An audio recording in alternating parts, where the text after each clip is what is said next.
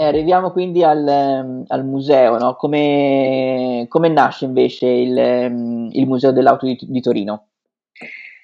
Il museo ha una, una, lunga storia perché intanto è uno dei più risalenti, diciamo, è uno dei, dei, più storici esistenti al mondo, perché l'idea del museo nacque eh, nel 1932 a eh, Cesare Goria Gatti e a Roberto Biscaretti di Ruffia, ehm, che erano stati anche tra i fondatori della Fiat, erano stati, Roberto era stato anche il, il fondatore dell'Automobile Club, il primo Automobile Club d'Italia che era qui a Torino inizialmente, poi diciamo, nacquero in diverse città e, e poi nacque diciamo, quello di, di Roma Nazionale.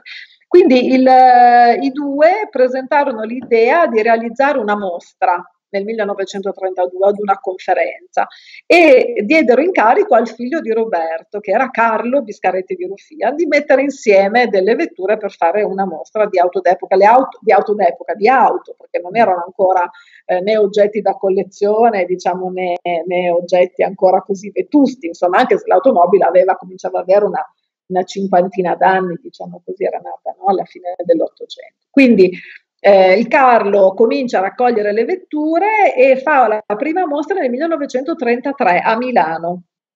In quell'occasione nasce il museo, il museo dell'automobile che viene denominato da Benito Mussolini immediatamente museo nazionale, quindi la collezione diventa museo nazionale. Non c'era ancora l'edificio.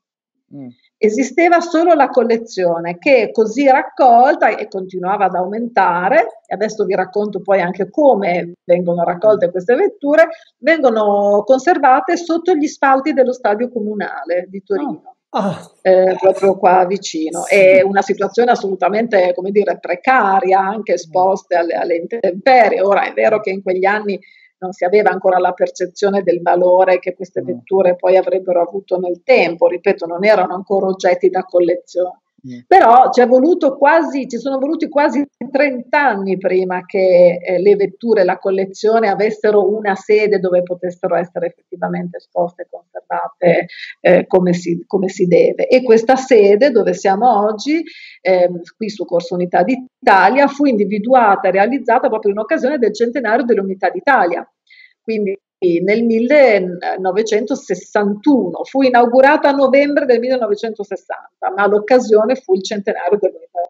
In quell'occasione la città di Torino diede, assegnò questo lotto, questo, questo terreno alla costruzione dell'edificio perché ospitasse la collezione di Biscaretti. E infatti questo è uno dei pochissimi, credo, musei, forse uno dei pochi al mondo, che è nato per essere la sede di un'esposizione museale, cioè molti, molte sono sedi che vengono eh, destinate a ospitare la, la, la collezione, ma sono, sono, pochi i musei, no? il Guggenheim, eccetera, che ospitano certo. le collezioni, insomma sono per la maggior parte sono edifici che vengono destinati a, a questo scopo.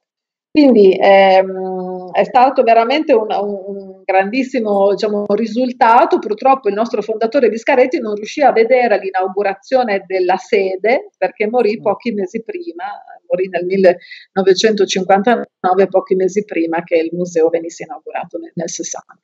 Allora, Viscaretti non era un collezionista, cioè la peculiarità del nostro museo, della nostra collezione, è che è proprio nata per raccontare alle generazioni future la storia dell'automobile. Quindi nasce ehm, eh, prevalentemente su eh, donazioni, cioè Biscaretti riuscì a coinvolgere, a, a, a motivare a questa missione della, della, della, del museo, di creare questo museo, sia i proprietari dell'epoca che le case costruttrici e lui proprio le, le, contattava, chiamava, scriveva se sapeva di qualcuno che aveva una vettura particolare che poteva essere interessante per raccontare una certa evoluzione, un certo stile, eccetera. Lui chiamava e diceva eh, mi serve quella vettura perché stiamo facendo il museo dell'automobile, eh, donatela. Tant'è vero che anche Enzo Ferrari, che notoriamente non era interessato a costruire il proprio museo, che era sempre, no? tu lo sai mm. bene, ehm, eh, Federico è, è, sempre orientato, sempre pensava alla prossima vettura, alle, alle corse, eccetera, quindi lui non aveva conservato praticamente nulla, vendeva tutto quello che poteva perché aveva sempre bisogno ovviamente di, di sostenere le proprie ricerche, innovazioni e la partecipazione alle gare piloti e quant'altro. Quindi ehm, e poi non voleva sostanzialmente che i concorrenti vedessero quello che mm. faceva, quindi non andava tanto in giro neanche, soprattutto le vetture da corsa. Beh, lui donò a Biscaretti, al nostro fondatore, quattro vetture straordinarie di Formula 1, pri- quindi la prima che vinse il mondiale con Ascari, poi lo raccontiamo anche dopo. Cioè, sì, cioè, quindi ci sono delle, delle, delle, storie, non so, per esempio il, la, la vettura eh, protagonista del film Il Viale del Tramonto fu, fu, donata, fu restituita all'Italia dagli studios di Hollywood. Ah. Eh, non so, la Lancia, la, le, le, case costruttrici, diciamo, tutte venivano coinvolte da Biscaretti, diciamo, stiamo facendo il museo, dateci le vetture importanti per raccontare questa storia. E così anche i proprietari non so, per esempio la prima donna con la patente eh, in Italia, che fu la, la, Francesca Mirabile Mancusio, la contessa Francesca Mirabile Mancusio siciliana, lei donò a Biscaretti la propria Esotta Fraschini e anche la sua patente del 1913, che infatti è esposta qui al museo. Eh, eh, lui era un grande, diciamo, aveva una grande, un grande entusiasmo, chiaramente, Biscaretti era un pioniere, un futurista, aveva questa visione, aveva questa grandissima passione per l'automobile. Lui faceva un altro mestiere, era un freelance, uh, un uomo di marketing, faceva campagne pubblicitarie, faceva queste cose.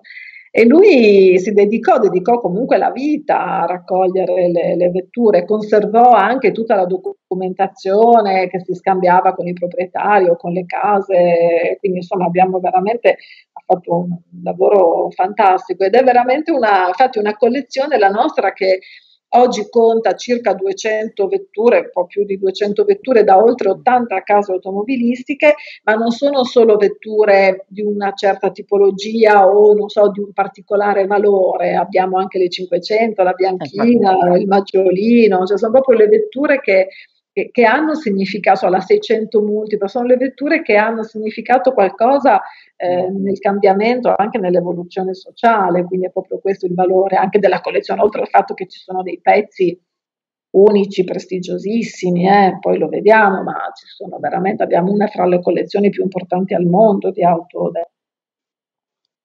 Perfetto. Sì, sì, sì, sì. sì. Eh. Sembra che... nasce così, okay. nasce nasce nel 1930, ah, scusate, nasce nel 1933 come museo nazionale, poi la sede nel 1960. Poi è stato ristrutturato, ampliato, il percorso completamente rivisto nel 2011, quindi abbiamo riaperto esattamente dieci anni fa in questa nuova configurazione, nuova versione e ci tengo a dirlo, fu inserito dal Times nella, nell'elenco dei primi 50 musei più belli al mondo da visitare. Però, mamma mia. Cioè, questo, questo è un museo veramente straordinario.